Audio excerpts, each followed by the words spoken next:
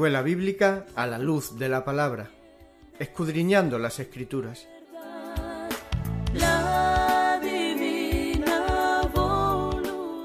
Luz a las Naciones, canal cristiano de comunicación, presenta a la luz de la palabra.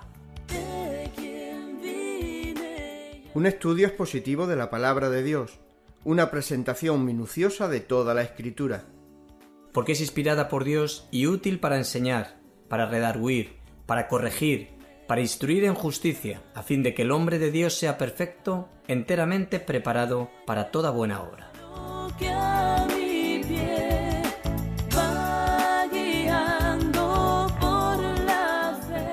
Escuela Bíblica a la luz de la palabra, edificando sobre la roca.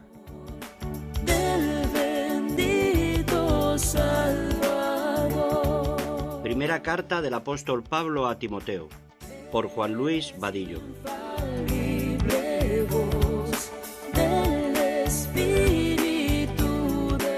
Esto te escribo, aunque tengo la esperanza de ir pronto a verte, para que si tardo, sepas cómo debes conducirte en la casa de Dios, que es la iglesia del Dios viviente, columna y baluarte de la verdad.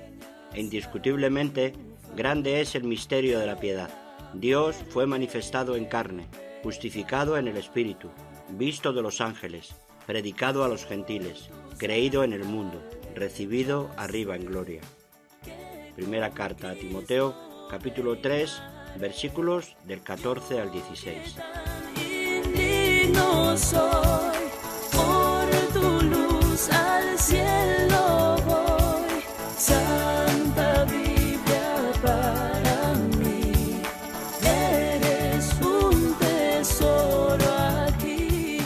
Vamos a la primera carta de Pablo a Timoteo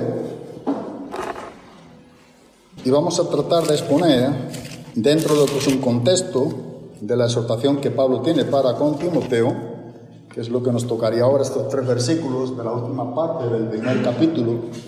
Pero eh, a la verdad, tratando de, de resumir esos tres versículos para poder acabar hoy, sería algo bueno, el capítulo, creo que no nos será posible, creo que estaremos hasta el versículo número 18, pero lo llegaremos a entender de una mejor manera cuando reiniciemos las clases, pues seguiremos con el versículo número 19 y 20.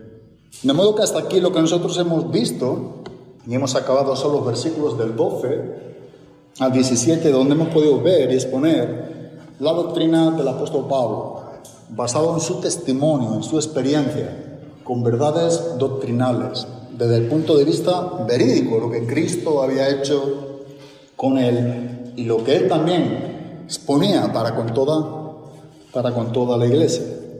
Ahora, posteriormente vamos a tocar los versículos del 18 al 20 con esta exhortación de Pablo a Timoteo, donde, como bien hemos dicho, estaremos finalizando el capítulo número, número 1.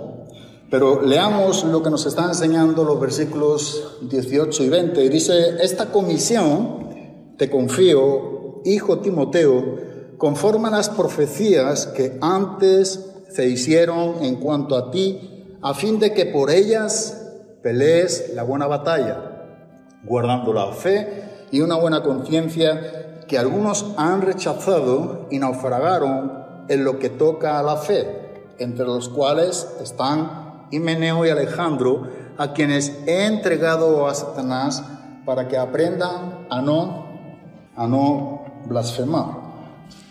Hasta aquí creo que es importante, a grosso modo solamente por encima, poder ver y, y, y, hacer un recordatorio de lo que ha sido el capítulo número uno, hasta este punto que estamos finalizando. Y vimos en los versículos número uno y número dos que Pablo está hablando de la salutación. Él es quien escribe, el autor, y vemos también a quién escribe el destinatario. ¿Quién es? ¿Quién es Timoteo? Pero luego el segundo punto abarca desde el versículo número 3 al versículo número 20. Son dos puntos el capítulo número uno. Solamente que en el segundo punto hay tres subpuntos. Y uno tenía que ver con la doctrina falsa que se está viviendo en diferentes lugares, pero específicamente está tratando con doctrinas falsas. Pero los versículos del 3 al 11 específicamente nos dice que era en Éfeso, aunque la doctrina falsa está por donde quiera que vayamos, y es lo que Pablo está tratando de enseñar, los siguientes versículos del 3 al 11 especifica bien claramente que era en Éfeso. Pero luego los versículos 12 al 17, contrarrestando la falsa doctrina, el segundo punto, el punto número 2, Pablo está hablando de la doctrina correcta. Por eso es la doctrina verdadera del apóstol Pablo, en lo que Cristo hizo en él. Y ahora estamos en este punto último de este primer capítulo, que es el tercer subpunto del segundo punto, donde está hablándonos de la exhortación de Pablo a Timoteo. Me gustaría leer nuevamente lo que nos está enseñando el versículo número 18, que es donde vamos a tratar de quedarnos y llegar a comprender lo que el texto en sí nos está enseñando, en base a qué nos enseña esta gran verdad y también para qué es que nos está enseñando esta verdad que nosotros estamos viendo aquí en este versículo número, número 8. Y el apóstol Pablo ya nos ha dicho, hemos leído, esta comisión te confío, hijo Timoteo, conforme a las profecías que antes se hicieron en cuanto a ti, a fin de que por ellas pelees la buena, la buena batalla. Sin duda alguna, una de las cosas que podemos ver es un recordatorio, aquí podemos apreciar el recordatorio del ministerio a que Timoteo había sido llamado. O sea, Timoteo había sido llamado a un cometido, a un fin. Dice esta comisión, ¿verdad? Te encargo. Nosotros debemos ver que esto es algo que no debemos perder de vista. Y algo más específico en este capítulo, en esta primera carta, el capítulo 4, versículo número 14, vuelve a reiterar algo muy importante tocante a lo que el apóstol Pablo está haciendo énfasis a este recordatorio, el cometido que Dios había dado para con su propia vida, es decir, el encargo, este recuerdo, este deber que está aquí demandando Pablo a Timoteo. Y dice en el versículo número 14, hablando de Timoteo, no descuides el don espiritual no descuides el don espiritual que está en quién? Que está en ti. ¿Podemos descuidar el don que Dios nos haya dado? Sí. sí. Si no, no tendríamos este texto. Hay un don espiritual que Dios ha dado por el Espíritu Santo, en este caso a Timoteo. Cada cristiano tenemos cuanto menos un don. Esto es importante que sepamos cuando nos convertimos a Cristo. Pero Pablo dice, no descuides Dedícate a tomar el tiempo para invertir tu don dentro de lo que es el ministerio. Entonces lo que le hace recordar es que no descuides el don espiritual que está en ti, que te fue conferido, y luego enseña cómo fue conferido. Y dice que fue por medio de la profecía, con la imposición de manos del presbiterio o de los ancianos, obispos. Pablo está aquí recordando a Timoteo que tenía algo que hacer en sus días. Había algo directo que Pablo está contando con Timoteo. En verdad hay situaciones, eventos, hechos, que a veces nosotros nos encontramos de manera, no la encontramos de manera muy específica en la palabra de Dios. Hay cosas que deducimos, pero no tenemos todos los detalles, y este es uno de ellos. No encontramos en el lugar en la palabra de Dios el momento donde los ancianos estaban imponiendo las manos, ¿verdad? Y transmitiendo este don a Timoteo. Pero eso no quiere decir que fuese una gran verdad, como todo lo que nos enseña la Biblia. Por eso, aunque no encontramos ese pasaje, ese texto, ese momento, ese evento, la verdad es que lo que nos está enseñando el apóstol Pablo es lo que es. Y dice, esta comisión te confío, hijo Timoteo, conforme a las profecías que, antes se hicieron en cuanto a ti. Y esas profecías tienen que ver con lo que hemos leído, que no descuidar el don espiritual que está en ti, que te fue conferido. Que no encontramos este evento específico. La verdad es que dice que te fue conferido por medio de la profecía con la imposición de manos del presbiterio. Entonces encontramos asuntos relacionados a esta gran verdad pero si buscamos el evento, si buscamos el texto, ¿verdad? Si buscamos en lo que tiene que ver con la temática cruzada o textos cruzados, no nos lleva a esa situación porque no existe. Pero eso no deja de ser una gran verdad. Porque lo que está diciéndonos el apóstol Pablo es verdad. Y porque lo que Pablo dice, no lo dice Pablo por sí mismo, sino como cada quien de los que están inspirados por el Espíritu Santo, que son más de 40 autores distintos, Ellos hablaron siendo inspirados por el Espíritu Santo. Así que es aún más que suficiente para creer lo que Dios nos está enseñando por medio del apóstol, del apóstol Pablo. Y lo que nos está enseñando perfectamente es lo que hemos visto. De los ancianos de la iglesia, en este caso una iglesia donde bien pudo haber estado Pablo con anterioridad con Timoteo, oraron e imponiendo sus manos sobre él les hicieron confirmar lo que Dios demandaba de él. Y esto tiene que ver con un don que estaremos viendo qué, don es el que realmente tuvo, qué dones tuvo Timoteo, por el cual Pablo le está mandando que eso no lo descuide. O sea, que llegues hasta el fin, que cumple tu cometido, que no te rindas, que refute las mentiras. Eso sí lo podemos ver en diferentes lugares por todas las escrituras. Y lo que podemos ver de manera muy categórica es que dicho don o dicho ministerio está encabezado primariamente en la vida de Timoteo por lo que la propia palabra nos enseña. Y tenía que ver específicamente con lo que es la predicación de la palabra de Dios y la defensa o apología en contra de las falsas enseñanzas. Para que esto fuera lo factible, no solamente para con Timoteo, sino para con todos nosotros, el capítulo número 2 de la segunda carta, el versículo número 15, también sigue escribiendo a Timoteo, dice, procura con diligencia presentarte a Dios. ¿Cómo dice? Aprobado. Como obrero que no tiene de qué avergonzarse, que maneja con precisión la palabra, la palabra de verdad. Aquí el mismo Timoteo, por el apóstol Pablo, le está dando un llamado, una exhortación en cuanto a lo que iba a ser el ministerio de la palabra, de la predicación, de la defensa por la doctrina correcta, por la sana doctrina. Así que Timoteo ha llamado a interpretar y usar de manera correcta lo que tenía que ver con la palabra de Dios.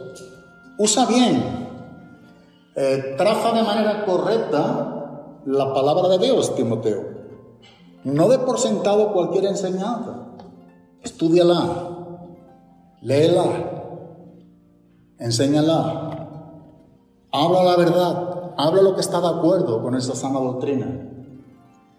Eso es lo que estamos viendo tocante al, digamos, al ministerio que tenía Timoteo. Y precisamente en la primera carta, donde estamos estudiándolas, en el capítulo número uno, nosotros podemos ver ahora con más peso lo que en el versículo número 3 ya estudiamos y Pablo rogó a Timoteo. ¿Qué fue el ruego que Pablo hizo a Timoteo? Bueno, como te rogué al partir para Macedonia que te quedaras en Éfeso, ¿para qué? Para que instruyeras. ¿A quiénes? A algunos. ¿Con qué fin? Que no enseñaran doctrinas extrañas. Esto forma parte del don, de la capacitación que el Espíritu Santo capacitó a Timoteo.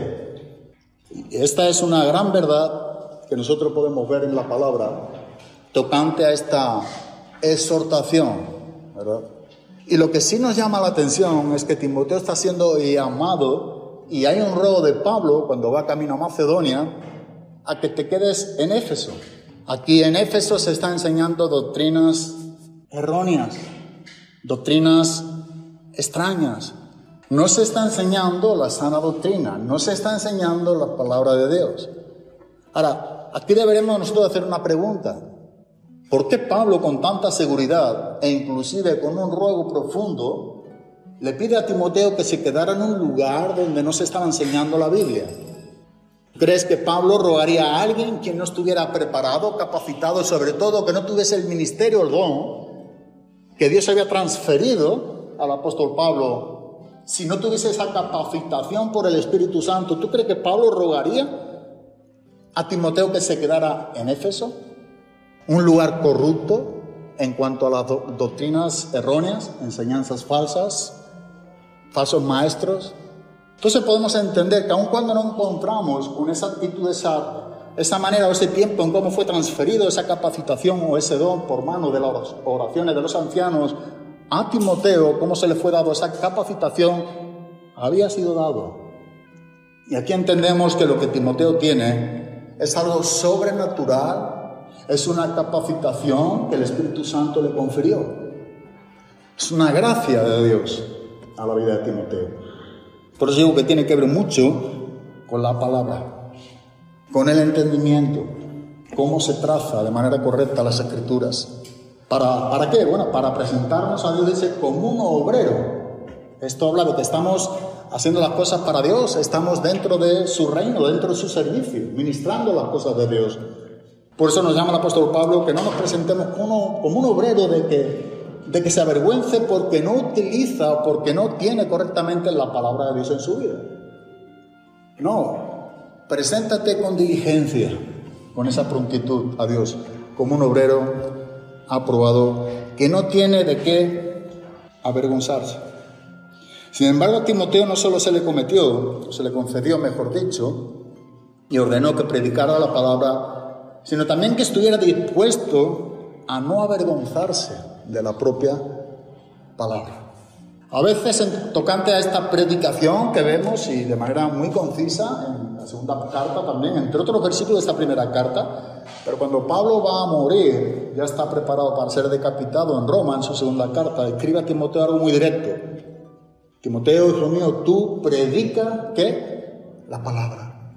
En cierta manera esto es todo lo que tú debes de defender. No dejes de predicar la palabra. Y estudiando este, esta semana este pasaje, es algo curioso, pero yo pensaba y pienso, ¿se puede predicar la palabra y no tener el celo? O no tener, digamos, el denuedo de evangelizar a la gente. Es decir, queremos predicar la palabra en público, en un púlpito, no nos importa, podemos prepararnos si somos grandes predicadores. Y ser alguien que nos encontremos a solas con una persona y no tengamos esa valentía o ese denuedo para evangelizar a quién, a esa persona tocante a quién, a Cristo. A Cristo.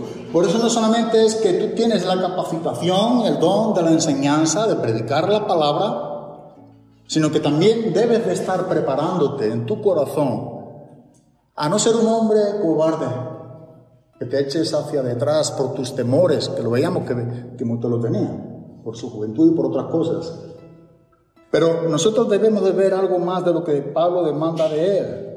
No solo es el don que te ha dado, muy bien, no solo es el ministerio que tiene, estupendo, pero no te avergüences, no solamente de predicar el Evangelio, sino inclusive no te niegues a sufrir por el Evangelio. Este es otro punto, porque pudiéramos todos estar de acuerdo con lo que Dios nos enseña y si nos capacita para que enseñemos la palabra, y si nos da ese don para poder interpretarlo correctamente, esto está muy bien, pero a veces pensamos poco sobre lo que nos tocará. Creo personalmente, si nos tocaría sufrir por el Evangelio. Ahora, ¿tú y yo estaríamos dispuestos a sufrir por el Evangelio?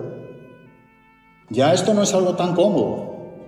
Pero mira, el apóstol siempre predicó con su ejemplo, el apóstol Pablo. Por eso busqué algo donde nos lleva la propia palabra a ver que lo que Pablo está demandando a Timoteo no era algo que le exigía que él estuviese exento de esa, de esa manera de exigirle a Timoteo. No, Pablo predicaba con su propio ejemplo, lo vemos a lo largo de todo su ministerio. E inclusive, el apóstol Pablo nos enseña de manera categórica que él trabajaba para su sustento. Hoy en día hay mucha gente que no debo trabajar, o trabajar es una maldición, otros lo hagan por mí. Pablo dice, no me quitéis este privilegio. Él trabajaba. Yo soy el cristiano que piensa que tenemos que trabajar hasta el fin, hasta que Dios nos dé las fuerzas, lo tengo muy claro, no de ahora, muchos años. Debemos de estar al frente. No solo lo espiritual, sino lo material, que siempre, siempre también digo, no está desligado de lo espiritual. Porque lo hacemos para el mismo, para el mismo Dios. En la medida en que cada quien de nosotros podamos de llevar eso hacia adelante. Pero mira lo que dice la segunda carta de Pablo a Timoteo, hablando de este encargo que le da a Timoteo. Estaba basado en su propia vida, en su propio testimonio. Y nos dice en el capítulo número uno, los versículos del 6 al 8, dice, por lo cual te recuerdo que avives el fuego del don. Tenemos que entender que Timoteo no siempre tuvo momentos exitosos. Momento también tuvo, Timoteo también tuvo los, los, los momentos que tú y yo también tenemos a veces, o no los tenemos. Desánimos, desalientos, pocas fuerzas.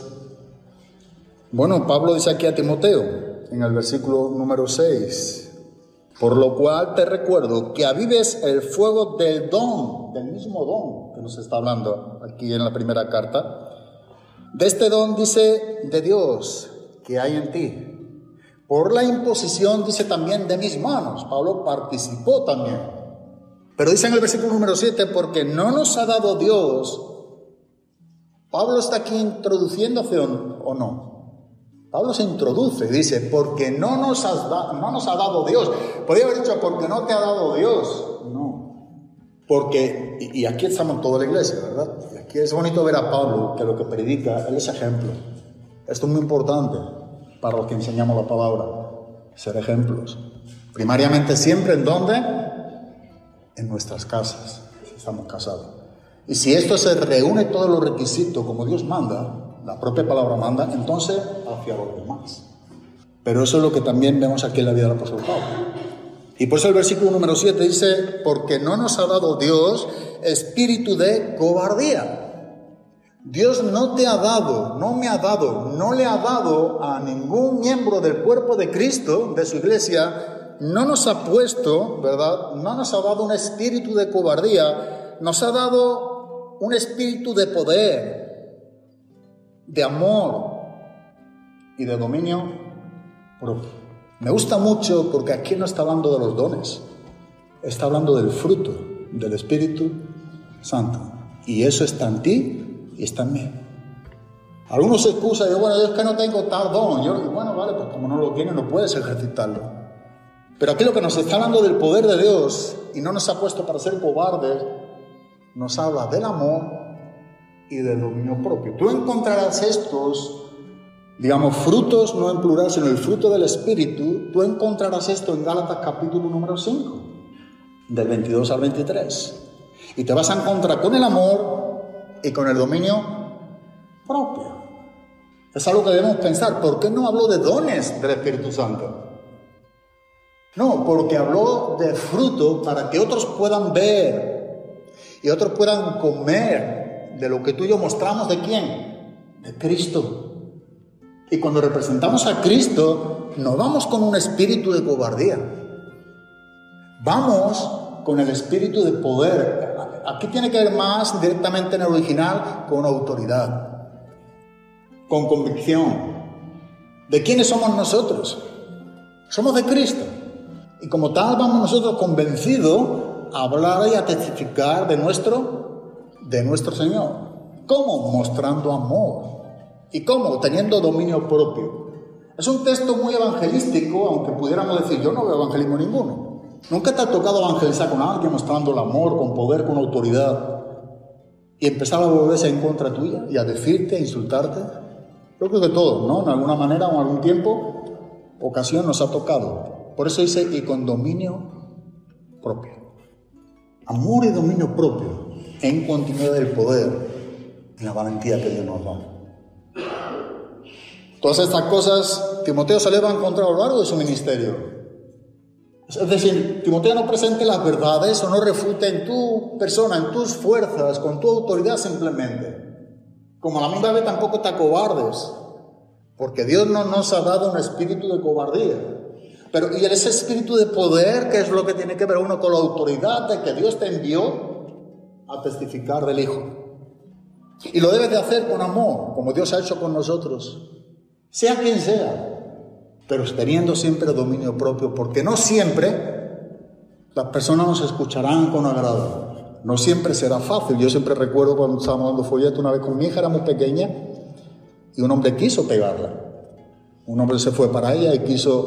Imagínate yo como padre en ese momento, cualquiera de los que tenemos hijos, se, se nos puede ir un poco, ¿verdad? Ese dominio propio. Sin embargo, Dios me capacitó en ese momento, es una gracia que hasta hoy a veces no la entiendo, para no solamente frenarle en ese momento, calmarle, pedirle perdón si lo había ofendido, lo que era simplemente un tratado, una apenas tenía cinco o seis años, no más. Íbamos dando folletos por las calles y una de las veces nos pasó esto. Pero podríamos presentar nuestra carne, ¿verdad? Yo soy el padre, aquí está el defensor. Mi hija tiene que ver que yo soy el que va a vencer esta. No, no, no es lo que Dios nos enseña. Otra cosa que le hubiese pegado, estuviese dándole golpe, pues entraríamos igual de otra manera, ¿no? Cuanto menos para tampoco dejarnos golpear. Pero son momentos críticos que si no reparamos en esos momentos, metemos la pata. Si tú y yo no tenemos dominio, dominio propio, recuerda, lo que en ese momento gobierna, si no hay dominio propio, no hay espíritu. Y por tanto, si no está ese fruto, hay carnalidad, que son obras nuestras de la carne. Y presentamos nuestra carne y de eso nos sobra a todos. ¿Verdad? A mí el primero, carne nos sobra a todos. Sin embargo, Dios nos está enseñando algo muy importante en este texto y es lo que estamos viendo que Pablo está enseñando a Timoteo. Dios no nos ha dado, Pablo está incluido con él y junto con toda la iglesia. En la segunda carta, aquí donde estamos en Timoteo, en el mismo capítulo, capítulo número 1, ahora vamos al versículo número 12, hasta el versículo número 14. Por lo cual, también habla del sufrimiento, de lo que le iba a tocar, a vivir Timoteo. Pero Pablo dice también, el mismo apóstol Pablo dice en el versículo número 12, por lo cual también sufro. No le, está, no le está diciendo a Timoteo ni a la iglesia que sufrimos. Él estaba sufriendo por causa del Evangelio. Él estaba sufriendo porque no se avergonzaba del Evangelio. Él estaba sufriendo, había sido encarcelado, inclusive decapitado por predicar el Evangelio, por identificarse con Cristo por la causa de Cristo. Y eso es lo que Pablo dice, por lo cual también sufro estas cosas, pero no me avergüenzo. Eso es, es, un sufrimiento por la causa de Cristo. Así que no me avergüenzo. Es más, es, es una gloria que Dios nos permite vivir. Es un glorificarle a Dios. Es un contentamiento la vida del apóstol Pablo. Dice, ¿por qué? Porque yo sé en quién he creído. A veces, haciendo aquí una digresión, un paréntesis, el hecho de que tú y yo nos avergoncemos en el sufrimiento, nos avergonzamos de Cristo para no sufrir, es porque no estamos recordando en quién hemos creído y los beneficios de esa creencia. A veces se nos y nos comparamos con el mundo. Pablo no lo hace ver de manera muy presente, pero no me avergüenzo del Evangelio porque yo sé en quién he creído. Ese es el motivo por el cual Pablo no se avergonzaba del Evangelio. Pero no solamente eso, sino que estaba convencido, no en él, sino en el poder de quién? De Dios.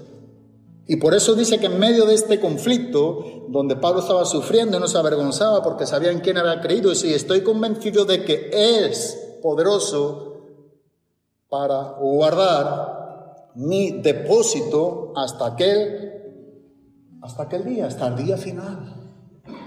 Pablo no tenía que custodiar más su propia vida, no tenía que guardarse más a sí mismo. No tenía que prepararse físicamente para tener lucha física con los hombres, no. Entendía que era una preparación espiritual. Por eso vemos hombres que físicamente tienen un cuerpo muy grande, aún siendo cristianos, y espiritualmente no tienen nada. Son vencidos con un soplo del diablo.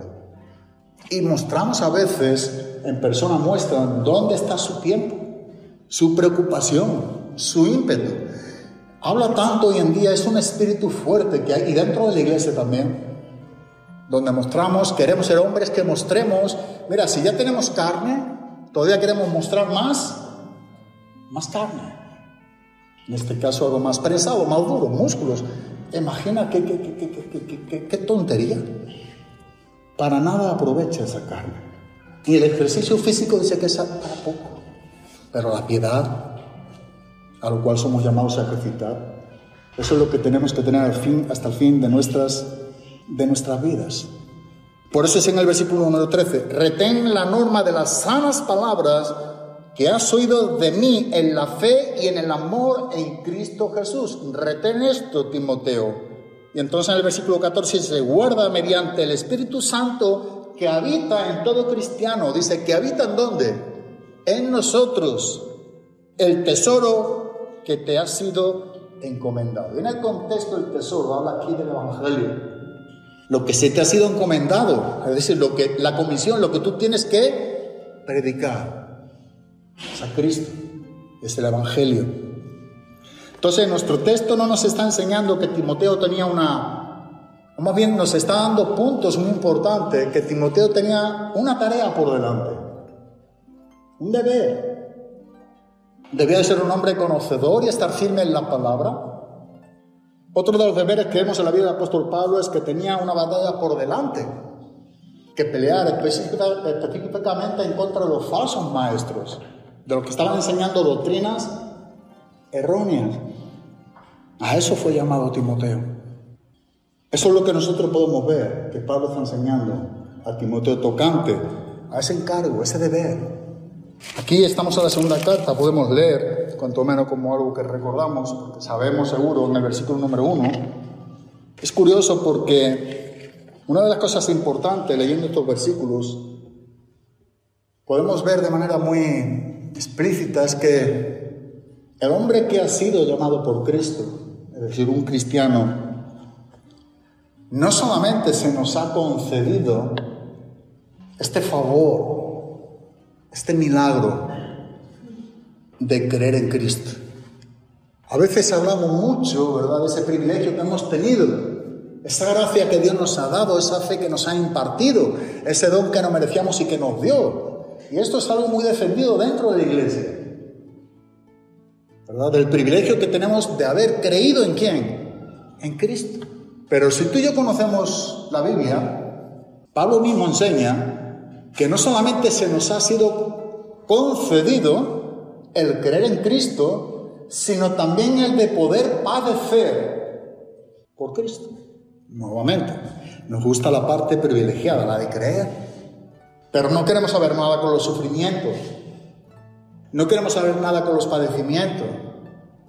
Antes de leer esto, en Filipenses creo, capítulo número 1, versículo número 29, dice, porque a vosotros se os ha concedido, por amor de Cristo, no solo creer en Él, esto es lo que estamos viendo y diciendo, a vosotros, a los cristianos, Pablo está enseñando a los filipenses, algo que estaba muy deteriorado tocante al sufrimiento, que era la causa, el motivo de la falta de gozo dentro de iglesia Filipos.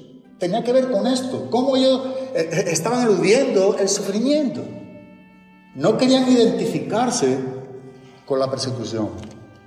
Pablo recordamos que está hablando desde una persona que está siendo presa en una prisión y escribe a los cristianos que están libres. Y mira lo que le escribe un hombre preso, pero libre en su espíritu, a hombres libres en su carne, pero presos en el espíritu, con temores. Entonces lo que Pablo dice de manera muy, muy notoria, pero a vosotros no se os ha concedido por amor de Cristo, no solo creer, o sea, os ha concedido no solo creer en Él, sino también sufrir por Él. Nuevamente, si tú sigues leyendo, Él mismo se pone como ejemplo. Pablo no decía nunca nada ni enseñaba nada, como enseña el Filipenses 4, en el versículo del 8 a 11, que mismamente no hubiesen visto hacer a Él. Porque su ejemplo supremo era quién? Cristo. Y por eso es que dice en el versículo 30, sufriendo el mismo conflicto que visteis, ¿en quién? En mí. Y que ahora oís, que está en dónde? En mí. Está en prisión por predicar el Evangelio. Esto es lo que Pablo está enseñando también a Timoteo. No te avergüences de testificar a Cristo. No seas un cristiano simplemente de nombre. Involúcrate y está dispuesto a dar tu vida, si Dios la requiriera de nosotros, por la causa del Evangelio. Estamos en un lugar donde todavía podemos hablar con cierta libertad del Evangelio de Cristo. Aprovechémoslo, allá donde estemos, allá donde estemos. Un cristiano que habla de Cristo lo hace donde quiera que esté. Y te digo la verdad, los momentos más especiales, y yo creo que en cada cristiano que hemos tenido, no ha sido en reuniones de evangelismo, no ha sido en lugares eh, todos a una, no, no, no. Ha sido a solas, ha sido con personas que Dios ha demandado que testificáramos. Son con personas que Dios te pone el momento y dice, habla de mí. ¿Nunca has escuchado esa voz del Espíritu Santo? Testifica de mí. Y pobre de nosotros si no lo hacemos. Ahí no hay algo que nosotros planeamos, no, ahí está el plan de Dios. Y dice, no te avergüences de mí, da testimonio de mí. Y a veces no es fácil, a veces no estamos en nuestro mejor momento. o no estamos pasando por un buen momento. A veces pudiera ser un día que estamos desalentados o desanimados e inclusive no tenemos ni para nosotros mismos. Igualmente Dios dice, habla de mí. Y es más, sabemos muy bien a quién tenemos que hacerlo. Sabemos muy bien a qué tenemos que testificarle. Y debemos de hacerlo, porque eso es verdaderamente testificar de Cristo.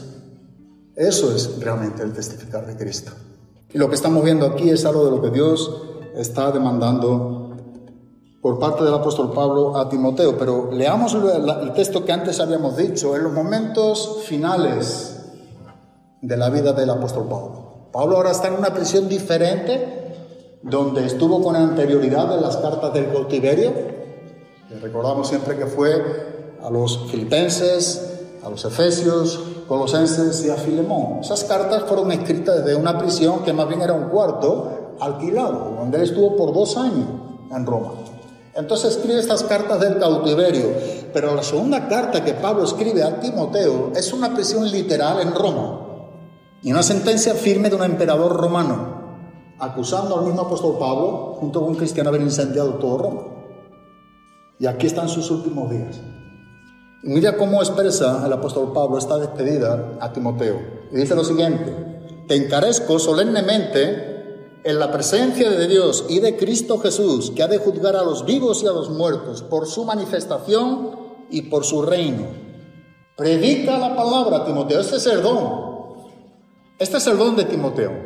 Predicar la palabra, defenderla, presentar apología, derribar, destruir los argumentos de los falsos maestros con evidencias bíblicas, con la autoridad que Dios le había delegado, con el don que Dios le capacitó como ministerio.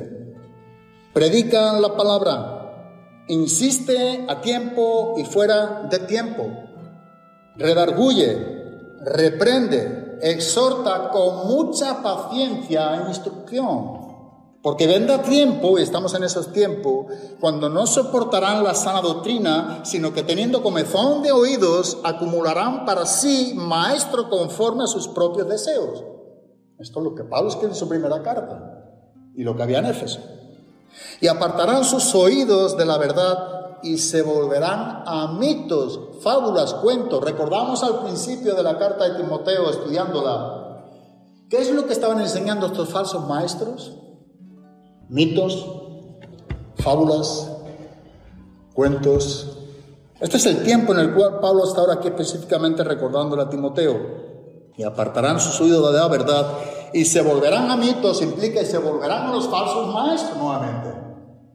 Ellos ganarán terreno si no haces bien tu trabajo. Pero tú, me gusta este contraste.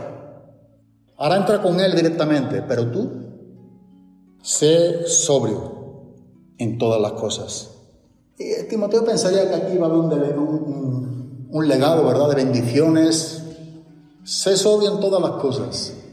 Sufre penalidades le dice a Timoteo. Esto ya no es tan bonito. Sufre por la causa de Cristo. Es más, Pablo está diciendo, posiblemente a lo mejor te vea algún día como me veo yo. Yo ya estoy para ser sacrificado. El fin de mi carrera lo tengo por delante, es cuestión de días, de horas. Hace el trabajo y dice, de un evangelista. Es decir, sigue predicando el evangelio de Cristo. Y es de esa manera que dice, cumple tú ministerio. Porque yo ya estoy para ser derramado como una ofrenda de libación. Y el tiempo de mi partida ha llegado. Pero mira, yo he peleado la buena batalla. He terminado la carrera. He guardado la fe.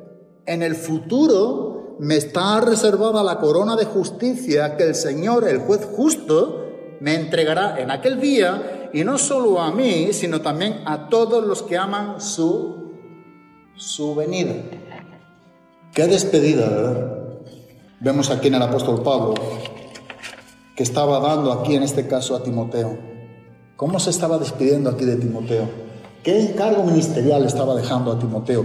¿Cuánto es el ejemplo que Timoteo está viendo de un hombre que no solamente le enseñó, sino a un hombre que está viendo no va a salir de esa prisión como en otras ocasiones? Pablo está diciendo, estoy para que me corten la cabeza. ¿Me la van a cortar? Y vemos a un apóstol con gozo en medio de esos momentos, porque sabía en quién había creído. No se nos olvide nunca. Si hay algo que el diablo tiende a hacer en nosotros es que olvidemos en quién hemos creído. Nosotros hemos creído en Dios. Hemos creído a Dios. Nosotros hemos creído en el Evangelio. Y es por tanto que eso es ahora poder de Dios para salvación. Porque es para quién? Para todo aquel que cree. ¿Es para un momento solamente? No. Para el fin de nuestras vidas. Esto demuestra el apóstol Pablo. Desde el principio hasta el fin. El creer en Cristo. Eso es algo sumamente importante. Entonces vemos que Timoteo tenía una comisión, un deber con Dios en la iglesia. Y algo de lo que muchas veces pudiéramos ignorar nosotros, y es lo que vemos que Timoteo no, no ignora y que Pablo recuerda que tenga cuidado de desviar su mirada, nosotros más nos familiarizamos a veces con el tipo de vida cristiana gozosa, próspera, sin sufrimiento, con éxito, si tenemos ministerio, con el perdón, con el amor, con libertad. Pero pocos son los cristianos que se preocupan del deber que realmente, igual que Timoteo tenía un deber, la vida cristiana, tú y yo tenemos que ver que este es un deber universal para ti y para mí. O sea, nosotros vemos en Timoteo algo que Dios demanda de nosotros. Recuerdo que cuando Pablo dice a Timoteo cumple tu ministerio, le está hablando también de que sea un evangelista. Testifica, no te avergüences. Posiblemente no se haya llamado a ser maestro, pero el deber que tú y yo tenemos, lo tenemos de parte de Dios. No desviemos nuestros ojos de las cosas que son agradables, que son bíblicas también. Pero a veces son tantos los momentos que tenemos pensando en ello que no, no salimos de esos momentos. Todo es bueno, todo está bien. Poco entendemos de esos sufrimientos, de esas penalidades, a veces de escasez, enfermedades, momentos no gratos a nuestra carne. Pero recordemos siempre que tú y yo como cristianos tenemos una obligatoriedad, tenemos un deber con Cristo. Tú y yo estamos aquí con el deber de llevar a cabo el cometido de Dios. O sea, tú y yo como cristianos no estamos aquí para vivir los días como lo vives, como lo viven los incrédulos, los paganos. No.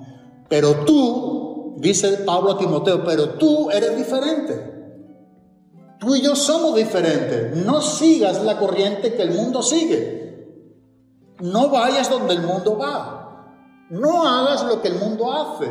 No pienses como el mundo piensa. ¿Por qué? Porque tú y yo somos diferentes. Somos de Cristo. Tú y yo somos de Cristo. Y somos llamados a ser santos porque Él es santo. ¿En qué área? En toda nuestra manera de vivir. Por eso hay muchas cosas que personalmente yo digo, para mí el mundo no está como cualquiera, no, lo tengo muy restringido en mi vida. El mundo no tiene nada que darme. De verdad, muchas veces digo, no, a divertirme un poco. Yo no voy al mundo a divertirme, no necesito el mundo para eso. Es un error, es un engaño. Tenemos que crear nuestro propio ambiente en Cristo y estar contentos y satisfechos en Cristo. Y cuando vamos al mundo vamos a llevar una guerra espiritual.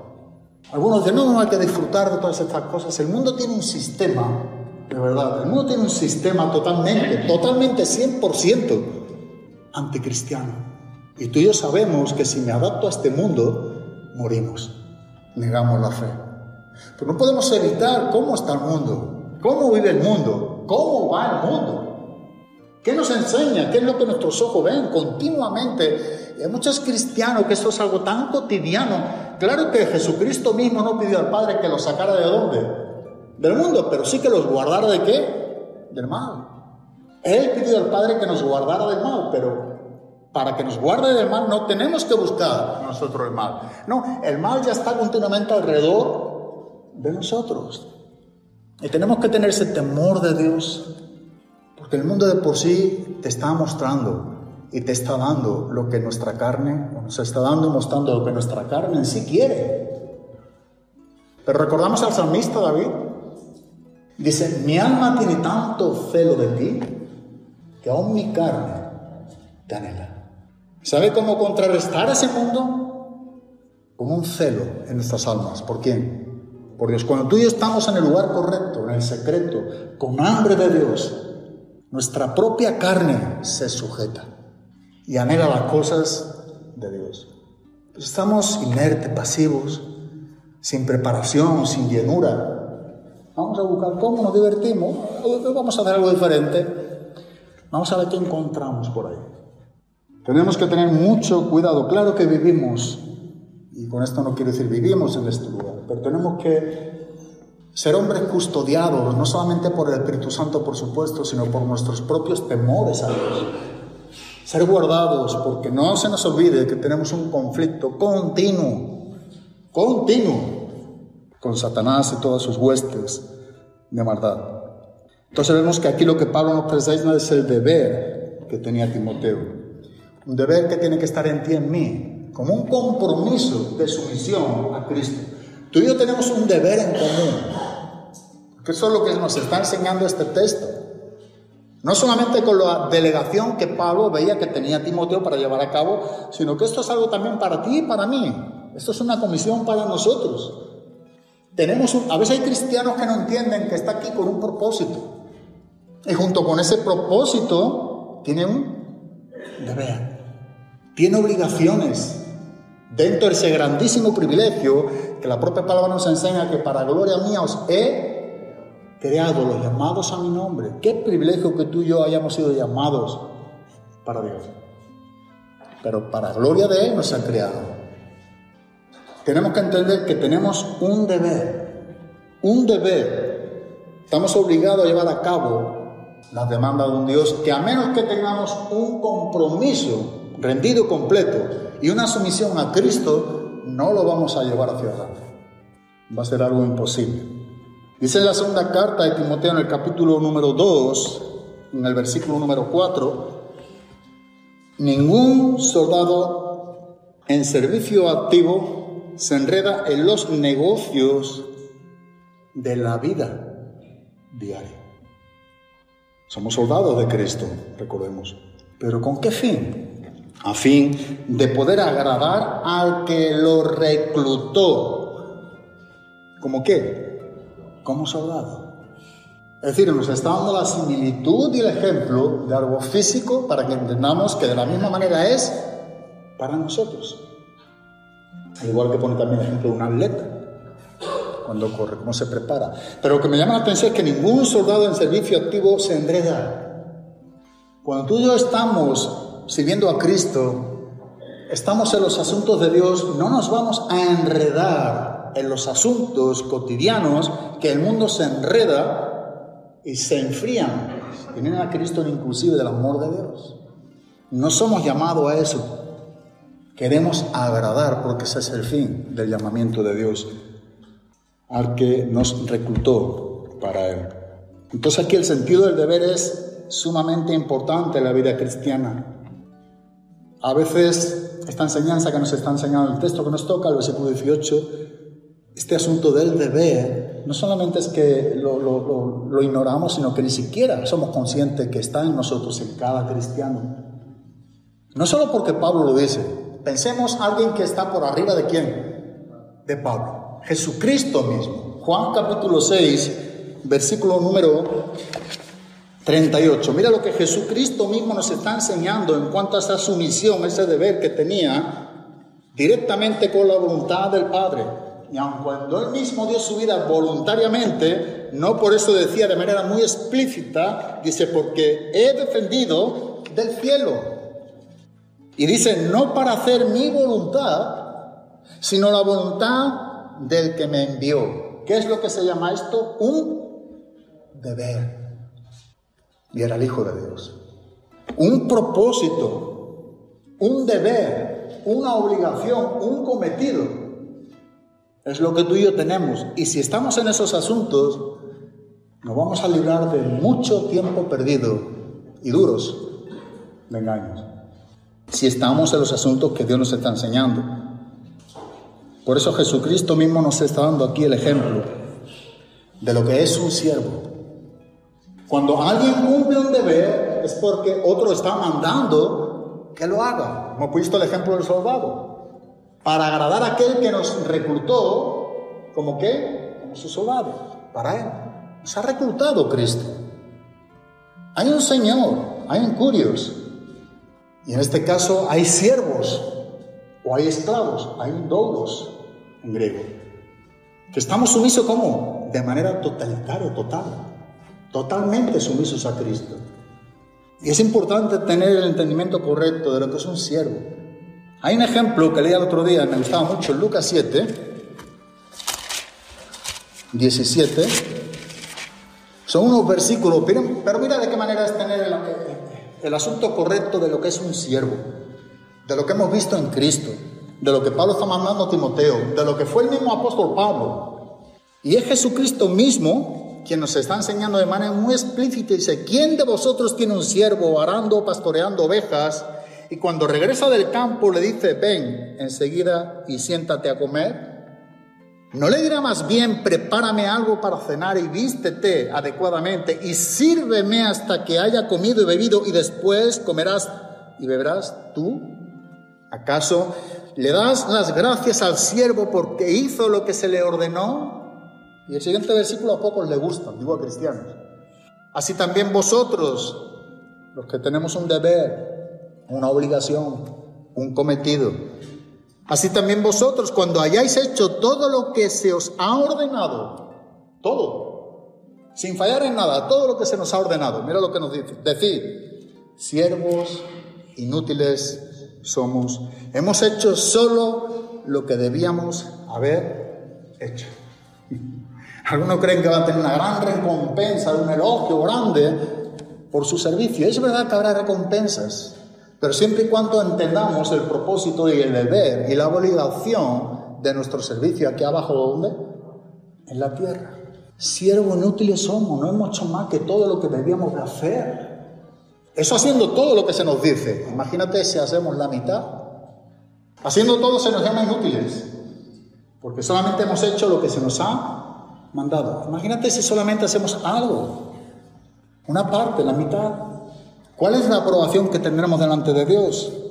No será una, una, una, digamos, un reconocimiento grato que tengamos delante de Dios. Pablo mismo sabía muy bien el asunto del deber. Él está enseñando a Timoteo sobre el deber, sobre la comisión, lo que se le ha encargado, lo que se le ha delegado, lo que debe de hacer. Pero Pablo mismo sabía en su propia vida, y lo escribe de manera también muy clara en 1 Corintios 9:16, el mismo apóstol Pablo hablando en un contexto de los deberes de un apóstol y cómo se defendía ante aquellos quienes decían que era un falso apóstol. Dice, porque si predico el Evangelio, yo no tengo nada de qué gloriarme, dice el apóstol Pablo. Algunos predicar el Evangelio, dar testimonio, hablar de Cristo, viene que parece que ha conquistado el mundo. Que no haya nadie que se quede sin saber lo que yo he hecho o he dicho. Sin embargo, el apóstol Pablo dice lo siguiente, porque si predico el Evangelio, yo no tengo nada de qué gloriarme, pues estoy bajo el deber. Como dice ahí en las Américas, estoy bajo el deber. Es mi obligación. No es nada extraordinario, es algo ordinario. Es lo que debo de hacer todos los días. A veces nosotros la predicación del Evangelio es como algo extraordinario porque no lo hacemos de manera ordinaria. Entre tanto, el apóstol Pablo nos está enseñando que eso era algo ordinario para él, no algo extraordinario. Para mí el vivir era qué? Cristo. Eso era algo continuo y ordinario, era su vida. Era el deber que tenía. Pero mira qué más sigue diciendo. Estoy bajo el deber de hacerlo. Y dice, pues ay de mí. Fíjate como Pablo veía lo que era violar este deber ser negligente a este deber, pues hay de mí si no predico el Evangelio. Eso es sentido del deber. Hay de mí si no predico el Evangelio. Algunos dicen, pobre de mí si lo predico. ¿Me van a dar una? No, Pablo decía, hay de mí si yo no lo predico. Porque entendía en quién había creído. Entendía cuál había sido su llamado el llamado Pablo correspondía a que fuese y predicase el Evangelio a todos los gentiles. Pablo era el apóstol de los gentiles. Mayormente su predicación y su ministerio fue al mundo gentil siendo judío. Entonces Pablo sabía muy bien cómo llevar a cabo este, sentido del deber y lo hacía con contentamiento, lo hacía con agrado. Entonces los dones que hemos recibido o que hemos en cuanto al don o en cuanto a los dones, si son más de uno, tenemos que entender que lo hemos recibido en cuanto a ese llamamiento con un propósito y es para llevarlo a cabo, cumplirlo con gozo. Dios nos te ha dado, no me ha dado un don, un cometido, una capacitación suya en cuanto a don para ejercitarlo, para la edificación de la iglesia, o en cuanto a ministerio, igualmente para la edificación de la iglesia, no es para que nos quejemos, no es para ello, no es para que nos edifiquemos, tampoco es para ello, no es para que lo llevemos a cabo con fidelidad y teniendo siempre el sentido del deber, que para nosotros es un deber, es una obligación, que llevemos a cabo ejercitar el don que Dios nos ha dado.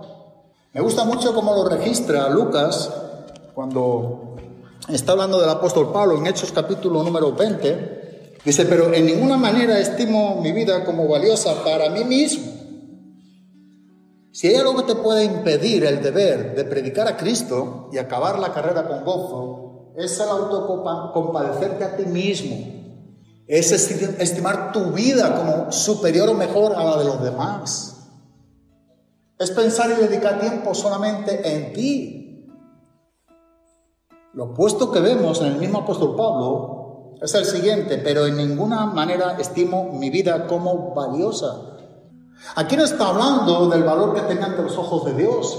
Está hablando de una vida en la carne por querer seguir aquí estando en este mundo, siendo complaciente con los deseos de este mundo. No, él no, él no amaba esa vida, él no tenía aprecio a esa vida. Él no tenía valor esa manera de vivir. ¿Por qué? Porque dice, para mí mismo, a fin de poder terminar mi carrera y el ministerio que recibí del Señor Jesús para dar testimonio solemnemente del Evangelio de la Gracia. Aquí hay un detalle muy importante que la Reina Valera lo dice de manera más concisa, más entendible. Y es la primera parte del versículo, pero en ninguna manera estimo mi vida como valiosa para mí mismo a fin de poder acabar mi carrera con qué? Con gozo. O sea, su vida no tenía ningún valor, entre tanto acabara su vida o su carrera con, con gozo guardando esa, esa fe. Y estas fueron las palabras del apóstol Pablo a estos ancianos de Éfeso, después de que estuvo con ellos durante tres años. Y no había ruido nunca de enseñarle todo el consejo de Dios. Ahora bien, si observamos con detenimiento, cada cristiano es un siervo de Cristo. Y como cristiano tú y yo estamos ligados a un deber. El ser cristiano es equivalente o es igual sinónimo a un deber. No olvidemos esto, porque hay muchos cristianos que creen que no tiene deberes.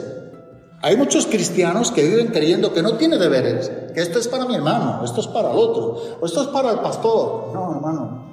Si tú eres cristiano, tú tienes un deber y muchos deberes, igual que yo. Por eso me gusta mucho pensar siempre que el cristiano tiene una vida de obligación, de deberes, cada uno de los cristianos.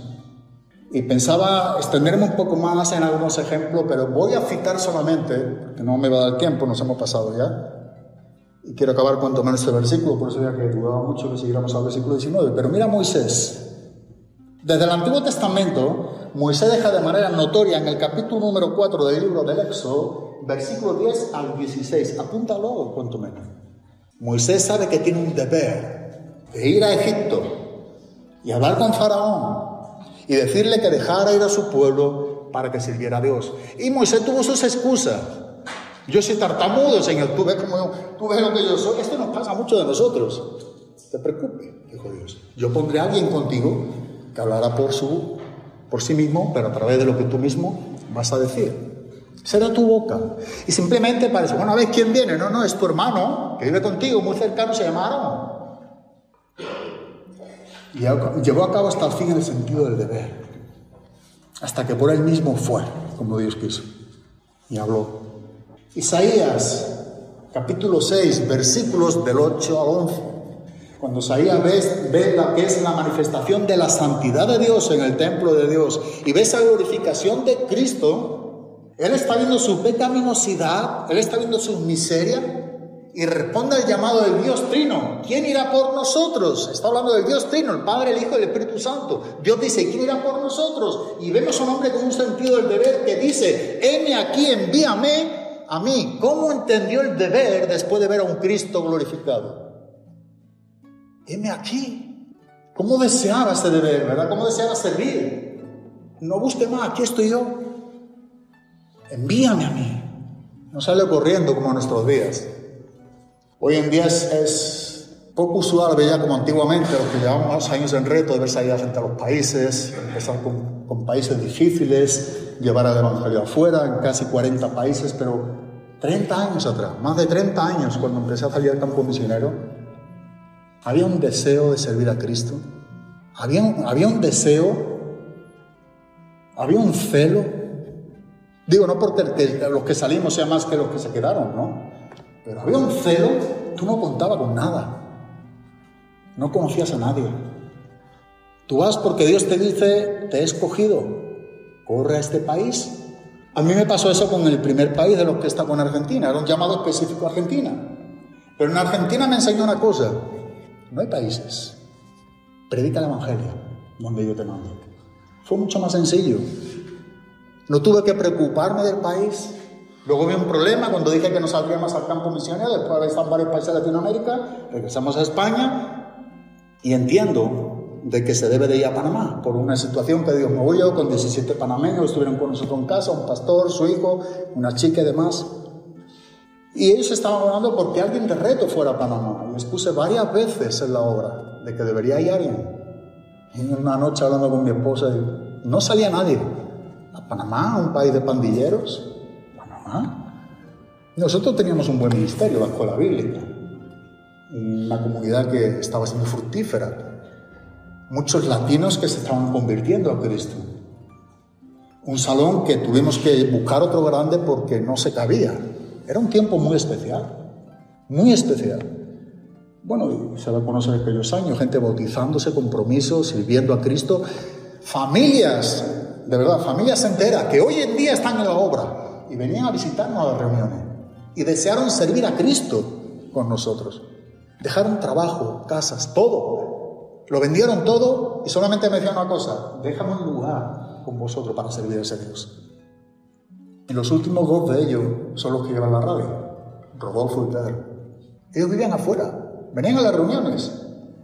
Digo, un mover tan guapo, viven en la obra, por supuesto, entregado a la obra 100%.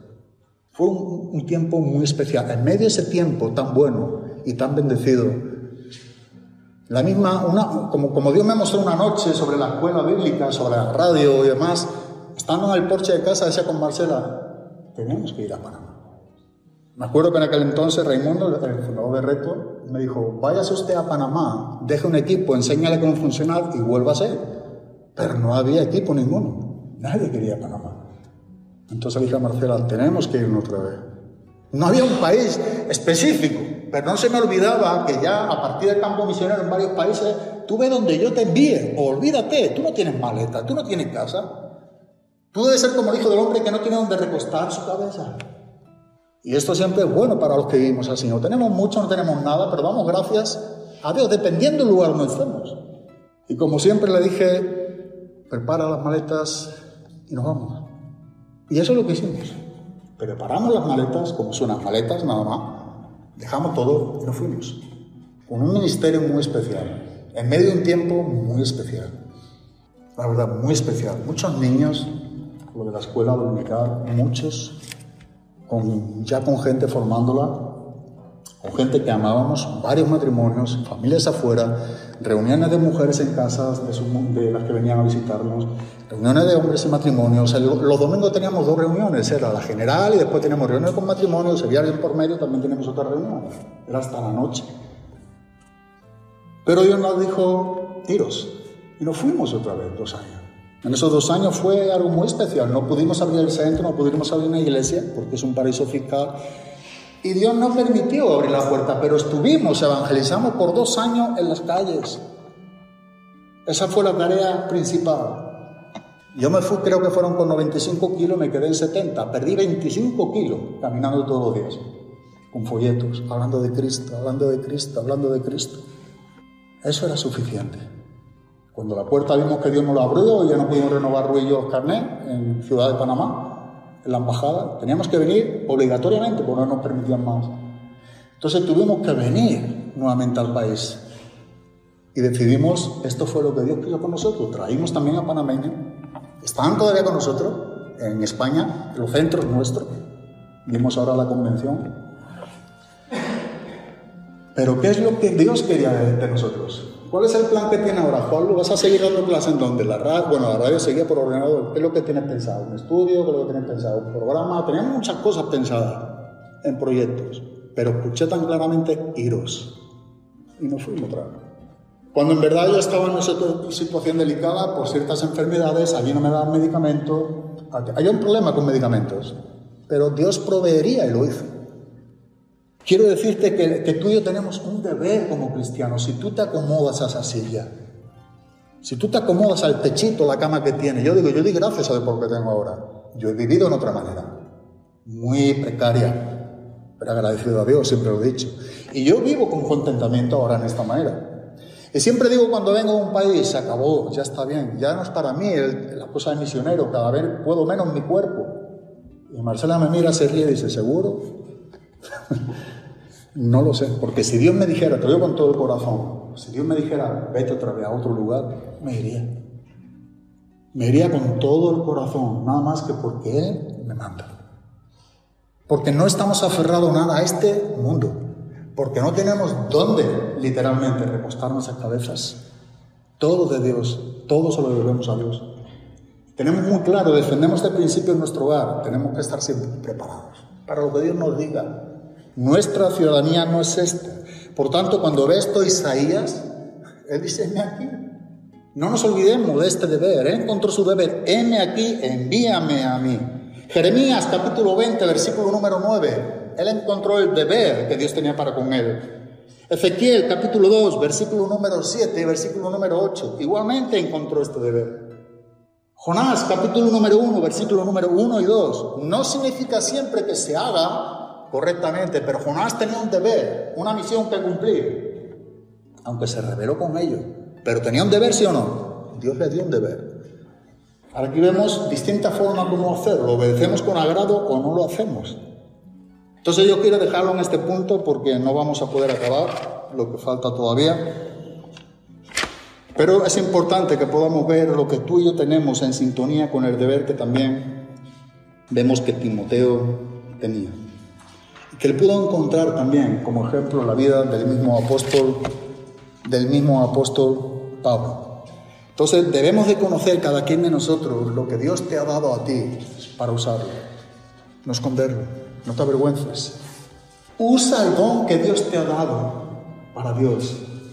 El asunto del don es para que Dios sea glorificado y la iglesia sea edificada. No busque lo que a ti o a mí nos gustaría, agradaría, el reconocimiento. Olvídate, ese es un engaño.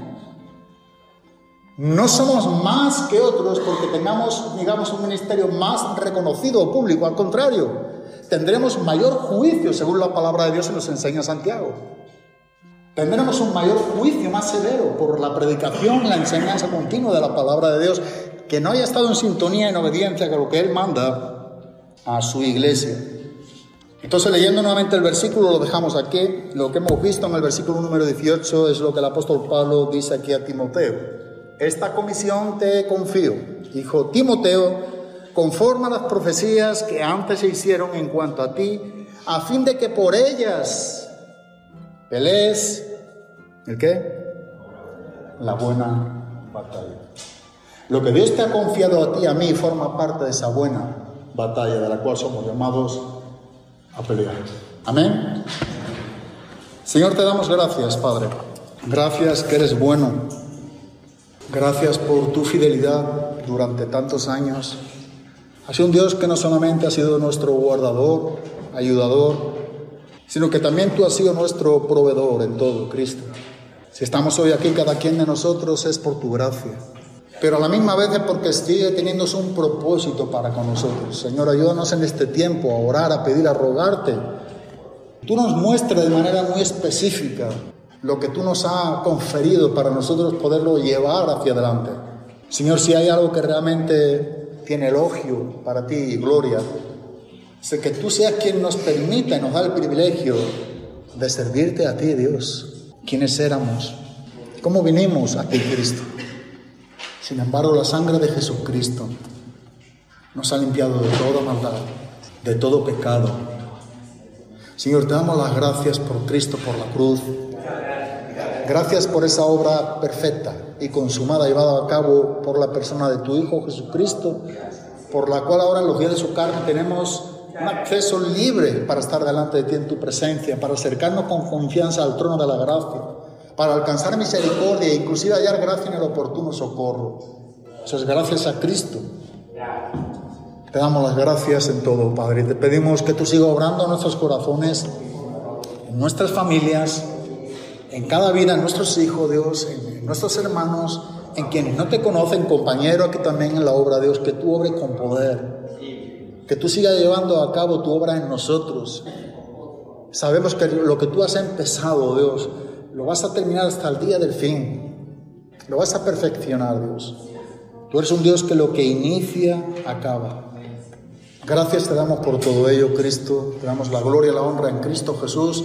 Queremos cantarte y adorarte, Dios, por este privilegio tan grande en este tiempo, donde una vez más en estos días queremos seguir recordando que aquel niño que vino a Belén, que nació de una virgen, tuvo un propósito principal y él nació para morir la cruz por nuestros pecados. En el nombre de Cristo Jesús. Amén, Padre.